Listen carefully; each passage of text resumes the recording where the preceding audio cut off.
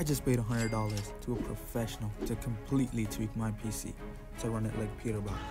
Will it actually make a difference though?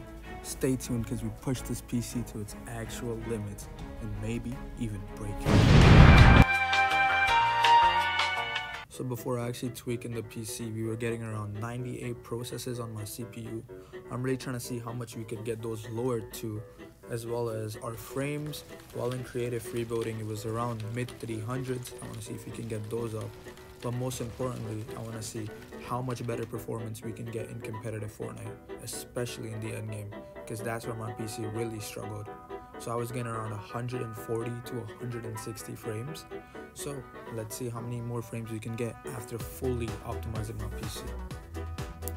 So like any other PC tweaking video y'all have probably seen out there, we started with the absolute basics, like getting my drivers updated, making sure all the extra stuff is uninstalled, and just clearing out everything on my disk that shouldn't be there. And now it's time for some serious tweaking. Cue the montage. yeah, boy.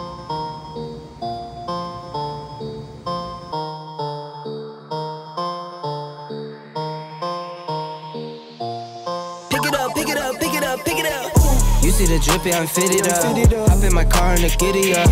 Secure the bag, yeah, I get the bus. Pick it up, pick it up, pick it up. You see the drippy, I'm fitted up. Hop in my car and the giddy up. Secure the bag, yeah, I get the bus. Pick it up, pick it up, pick it up. Ooh, I've been on the flex since flex zone. Neighborhood all in your eardrums. I ain't never scared like Bone Crush. God damn, look at the amount of stuff that's been deleted off my PC. So now, after two hours of waiting and tweaking, it's finally time to see if my game runs just like Peterbot. So we're already looking great. We have at least 150 to 200 FPS boost already, just in creative. My frames have touched over 600, so this is a great start. Now let's take a look at how much difference it made on my CPU. So as you can already see, my processes are a lot lower and so are my threads and handles. This is honestly great stuff if you're trying to optimize your PC. This means my Windows has been optimized a lot.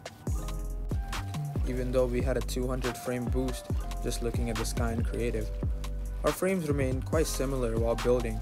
We might have had a 50 to 60 FPS boost as we touched 400 a couple times while building, but my delay did feel a lot better. But now for the real test, we have to check if my PC can perform better in the end games. No surprises here as well. Our PC is running better than it's ever before. We touched over 200 FPS for half of the end game, I'd say, and the lowest it ever dropped to was maybe like 165, 170. Now, do I recommend you guys to go out there and tweak your PC from a professional? Uh, it depends. If you're someone who's trying to take this game really serious and you want to make a lot of earnings, I would definitely recommend you guys to go out there and get your PCs tweaked because I felt a lot of difference, especially in my delay, and you could really tell in the end game because every frame matters. But if you're someone who doesn't really care too much, then it's something that's really optional because at the end of the day, it's like an extra hundred dollars, and if you have the money, go for it. But if you're someone who doesn't like spending too much money on games and stuff, you could probably skip optimizing.